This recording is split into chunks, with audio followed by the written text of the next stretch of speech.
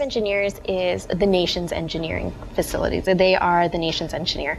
Um, as a civil engineer, I design things that are stationary, things like buildings, roads, um, levees, dams. I not only design those, but I help support them in the operations and everyday maintenance.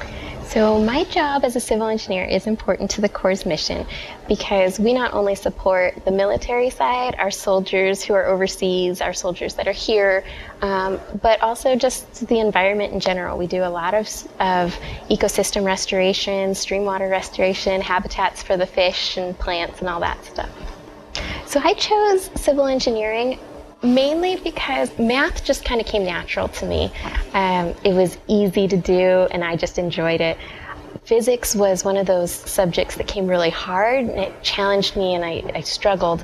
Um, and between those two, that is what civil engineering is. So there are aspects of my job that just come natural. It's really easy. It makes it fun.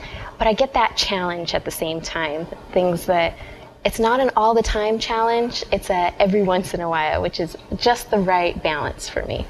My name is Diana Jones. I am a civil engineer with the U.S. Army Corps of Engineers, and I am Seattle District.